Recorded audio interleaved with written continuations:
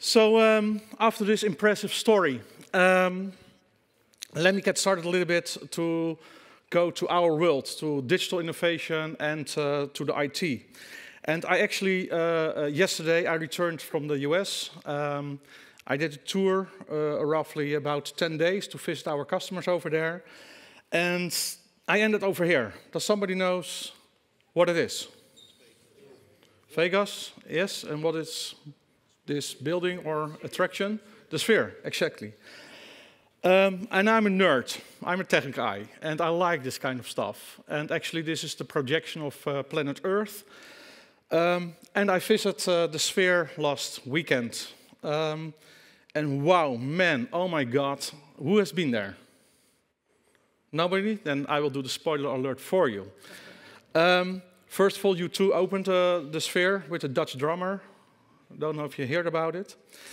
But um, so the sphere is very impressive from the outside. But my God, when you enter the sphere, this is what happens.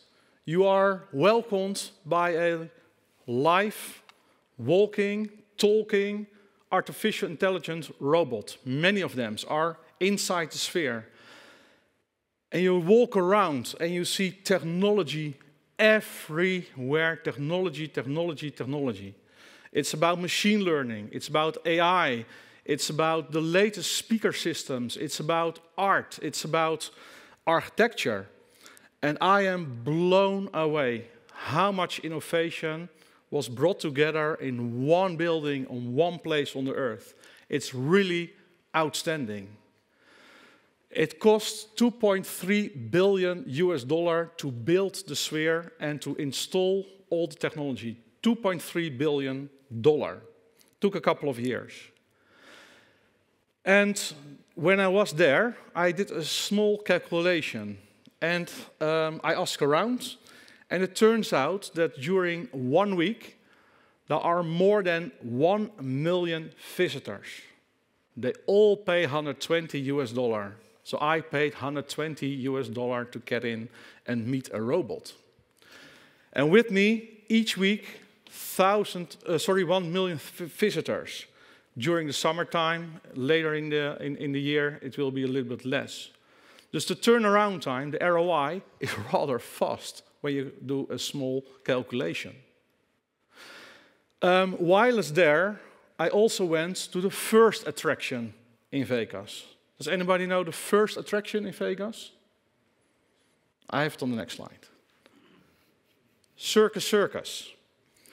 It was the first casino of the mob, and this picture I took is desolated. It's not there anymore. There are no visitors anymore. It's almost bankrupt, if it is not already. So Circus Circus up north used to be in the 70s a huge attraction. But since the 70s, they didn't do anything about it. No renovation, no maintenance, no nothing. Just lower the price, lower the price, lower the price, boom, and they are out of business. People behind the sphere took over. That are the new attractions, people who actually innovated. Did somebody read? Uh, sorry, I had a jet lag, so actually I stood up at four o'clock. What do you do? You read nu.nl. Did somebody read the news this morning about the Japanese manufacturer for diapers? Yeah? That was interesting. A huge manufacturer of diapers announced, listen to this carefully, I will stop producing diapers, diapers for babies. I will only produce diapers for elderly people. Because from 700 million diapers a year, I go to 400 million diapers a year only for elderly people. No diapers for babies anymore. China announced the same happens in our country. Actually, are you aware of this city in China? They built a complete city for millions of people years ago. Empty buildings, empty highways, empty schools, empty shops, a complete desolated city in the middle of China. What's happening here? There are simply no people. We have to produce more people. That's an invite for somebody, maybe. um, so that's maybe another thing what's going on when you talk about uh, innovation. Maybe we have to because there's simply no more people. In five years' time, we are lacking in the Netherlands. In five years' time, we are lacking in the Netherlands 70,000 people only in healthcare. We cannot fulfill the job vacancies anymore. And last but not least, when I think about why we have to innovate, it's about numbers, economical numbers. It's a simple fact. If you don't innovate, your costs will rise. They will continue rising up because people need to have salary, right? Indexation. Whilst, if you don't innovate, your revenue goes down because your competitor, think about the sphere, they will gain market, they will gain customers, they will gain more revenue if you don't go along with it. So, three reasons for us why we think organizations should innovate are very simple. First of all, you have to stay ahead of the game. You have to beat your competitor. You have to beat the competition. Circus Circus was not aware of it, and they go bankrupt. So I think the first driver for innovation is beat out the competition, be outstanding, find your USP again. Secondly, what I just mentioned, the lack of skilled people, the lack of personnel. You maybe don't like it, but if you want to grow, if you want to go to market, you need people to produce output. And when there are no people, there is only one remedy, and that is called IT. So only with IT-based innovations, you can overcome the gap of the lack of people, skilled people. And last but not least, the third reason why I urge you all to start innovation is the economical part, as I mentioned. Maybe you innovate to lower cost, to be more cost effective, or to raise revenue by uh, finding new markets, by finding new digital platforms where you can sell your service or sell your product. And I think, I strongly believe that those three reasons should be enough for each and any company in the world to innovate, reinvent yourself. And innovation doesn't need to be um, like Uber. You don't, don't have to be disruptive. People sometimes think it needs to be big, it needs to be um, uh, uh, uh, a high, huge impact on the society. But look back to the story of the TU Delft. Small things. What was it, um, Lars? 16 gram all around the car already is something. It's a little step with a huge impact in the outcome out, uh, in the end. So I also think innovation can be by, by a continuous uh, uh, governance and continuous processes, small steps, all together will drive innovation in the end as well. It doesn't have to be a big bang. It doesn't have to be a reinvention of your own company or yourself. Small steps are also part of the journey of innovation. So when we now are on the same page, why, let's focus on how. Um, how to innovate. And I've narrowed it down to uh, my cup of tea, and that is IT, and that's in the end middleware. Um, and what I think is uh, what makes a company a company in the end. And it's not my story. I, a lot of times, I uh, have the privilege to talk to many, many, many of our customers. And honestly speaking, I think that I have the best job in the world. You probably think that of yourself as well. But why do I say it from myself? I go up to those, these customers. I just went to the US, and CEOs, CTOs, lead engineers, they're telling me their dreams. They're telling me their challenges. They're telling me their failures. Actually, they tell me their emotions for success, but also for failures. And somehow they rely on my opinion. Somehow they value my insights. So what I'm telling here today, it's not about me, it's not about Yenlo, it's about the insights I want to share, the common practice of all of these logos behind me.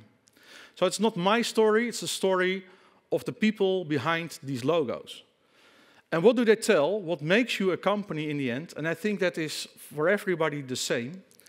A company is made by what you own. What do you own? You own data, you own intelligence. You don't own applications, you don't own processes that are just means. In the end, one of your USPs is data, the knowledge, your intelligence. And what we did in the past years, the data, yeah, it should be exposed, it should be uh, manipulated by services, yeah, ESB, microservices, whatever. So one part of innovation is data, that is your USP. It should be exposed by services. Of course, a service should be uh, uh, fronted by an API, and API should be secure, right? So we think, we strongly believe inside Yenlo that a key pillar when it comes down to digital innovation, you should address what can I do with my data? And the data should be exposed and, uh, and, and guarded by services, APIs, and integrations. So what we did, what we thought, with all the logos I uh, presented, is, um, uh, and what, what we advise to customers, when your data is consistent, your application landscape change, and your processes can be tweaked during time, based on market demands, based on new customer IDs, based on new channels. So what you have to do when you dream about digital innovation, be assured that you choose for the maximum uh, flexibility. Because I know one thing for sure, in the coming three, five, eight, ten years, things will change. And what you don't want is a lock-in, a vendor lock-in, technology lock-in, financial lock-in, knowledge lock-in. You want to avoid lock-ins. So try to choose for the maximum flexibility when it comes to services, API, and, and, and, and identity management. Secondly, choose for a best-of-breed approach yeah, to avoid lock-ins. Yeah. Pick and choose. Should be able to pick and choose the technology which suits your business case or your company the best. And if you don't like it, you should be able to get rid of it and exchange it with other technology. So flexibility, best of breed, that are things, ingredients we value when we talk about digital innovation. And last but not least, we strongly believe you cannot beat the cloud anymore. The cloud is fast, cheaper, more secure, more reliable than doing it on your own on premises. There are a few exceptions. Of course, there are some companies, governing bodies, who really needs to be on-prem, but then at least choose for a high-end containerization to make you more flexible in the end. So we believe when you value your data, your USP, and you garden that and expose that with services, APIs, and identity management, and taking these three pillars into consideration, you should come to the ultimate integration platform. You should come to the ultimate set of technology, a set of governance processes, a set of people. Hey, that were the three ingredients for innovation. And we did it with our own Connext platform. So our own Connext platform is actually the combination of these three technologies with the, these three IDs behind it. Um, today, uh, Marcel will present the uh, Corona Check App, the GGD uh, customer case, and that is one of the cases, uh, one of the customer cases uh, running and uh, driven by the, the platform. Um, so, to wrap it up, a nice picture of the world of, of tomorrow. Our customers, they dream big. Actually, I generated one with DALL-E.